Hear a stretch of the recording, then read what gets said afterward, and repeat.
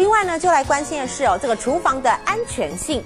这烘烤锅号称呢可以这个煎，可以煮，还可以烤肉，哎，听起来真的是还蛮方便的，在购物台有卖的下下叫。但是现在有网友 Po 文了，才刚刚买这个锅子哦，才两三个月，竟然是爆炸了。当时呢，他其实在使用完这个烘烤锅的时候，是有按着这个说明书插电烘一下，接着在旁边洗碗做别的事情。但是没有多久，这烘烤锅就爆炸了，而且玻璃罩整个碎裂。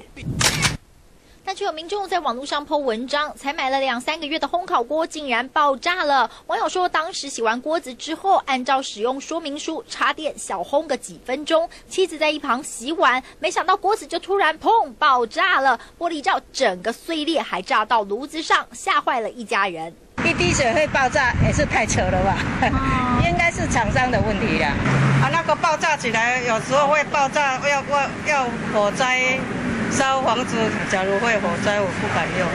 网友事后询问厂商怎么回事，但得到的答案让他心里很难接受。因为厂商说，玻璃原本就是会因为温度变化而热胀冷缩，烘烤中玻璃上沾到水分引发爆炸，这是正常的。